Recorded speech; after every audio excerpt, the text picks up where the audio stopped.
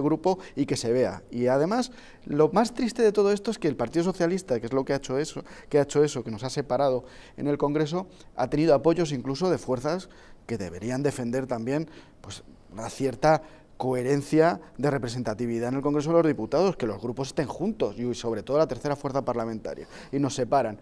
Nos han separado también en el Congreso en distintas plantas, nos intentan separar a nuestro grupo parlamentario de manera constante. Pero yo creo que aquí todo el mundo tendría que estar ya después de estos hechos, tendríamos que estar todos viendo claramente que este es un gobierno que pretende una transición. Y a mí esto de que, hombre, es un cínico, claro que es un cínico. Es que los comunistas siempre han sido cínicos. Dicen una cosa cuando están en la oposición y cuando llegan al poder, para sentar el poder y para transformar y conquistar el Estado, hacen otra cosa. ¿O qué parece? ¿Que eh, nos hemos caído de un guindo aquí todos ahora mismo? ¿O, qué pensamos? Estos señores que han estado asesorando a a fuerzas eh, totalitarias en Hispanoamérica, que estamos viendo que han cobrado por asesorar al gobierno bolivariano de, Evo Morales, a, también a Venezuela, Ahora, ¿qué pasa? ¿Que vamos a creernos lo que digan estos señores? Vamos a ver, ya, yo creo que ha llegado un momento en España que tenemos que ponernos las pilas y dejarnos ya de tantos de cogérsela con papel de fumar. ¿eh? Hay que defender España,